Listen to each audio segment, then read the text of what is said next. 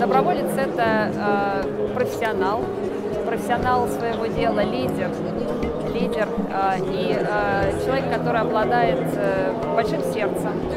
И э, очень э, важно для него э, то, что он хочет сделать э, мир вокруг себя лучше. И делать это с чистым сердцем, с чистой душой, безвозмездно, конечно.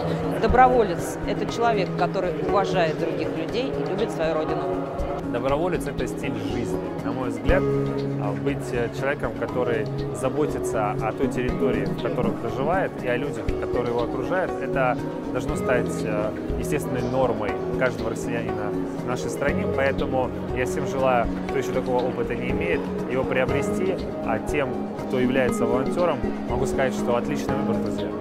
Доброволец – это неравнодушный гражданин своей страны, радеющий за свою родину и способный по зову сердца участвовать в любом деле, делать добрые дела и э, не ждать э, перемен, а творить перемены. Доброволец – это человек, который хочет делиться каким-то добром из своего сердца.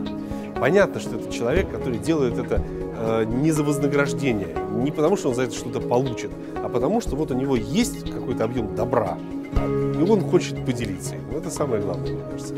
Доброволец – это человек, который любит свою страну, это человек, который, э, видя проблемы, берет на себя ответственность за решение этих проблем.